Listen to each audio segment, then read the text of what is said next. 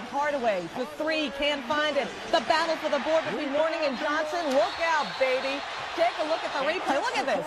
Alonzo trying to connect through about a dozen punches, could not connect with Larry Johnson. Other players on the court would get involved. It is so bizarre when the Heat and the Knicks get together. Strange things happen as you take another look. Look at the fighting. You can tell these two aren't hockey players. Neither connected with the other. There's Van Gundy. And there's Jeff Van Gundy grabbing the leg of Alonzo Mourning like a dog in heat. but coaches are allowed to do it. Check it out. You see Van Gundy on the floor. It's amazing he came out of this mess alive. But you know what's an interesting situation? You know, he's holding on for dear life. Now he's trying to get up and get out of there, wondering what the heck did I do that for? He's doing it to keep his. Remember last year? Remember when all the players came off the